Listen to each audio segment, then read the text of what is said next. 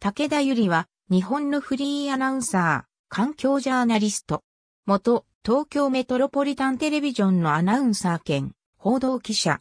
岡山県出身。2006年に津田塾大学情報科学科に入学。2010年に卒業後、東京 MX に入社。報道情報局報道部の記者として勤務。2012年1月より、東京 MX ニュースでキャスターデビューした。同年10月より、警視庁、遊軍担当に移動。2016年10月に、社会人大学院生として、上智大学大学院地球環境学研究科に入学した。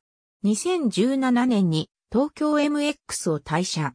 同年4月よりフリーアナウンサーとして文化放送斎藤和美ニュースワイド先取りの火曜日サブキャスターに就任。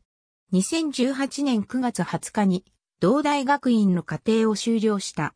フジテレビ環境ドキュメンタリー番組環境クライシスでリサーチャー、取材リポーターを務める。世界初の木のストローの発案者。環境ジャーナリストの傍ら、海洋政策研究所が発行する海洋白書の編集員や横浜 SDGs デザインセンターでコーディネーターも務める。2021年より講談社ウィズにて SDGs に関するコラムを発信している。ありがとうございます。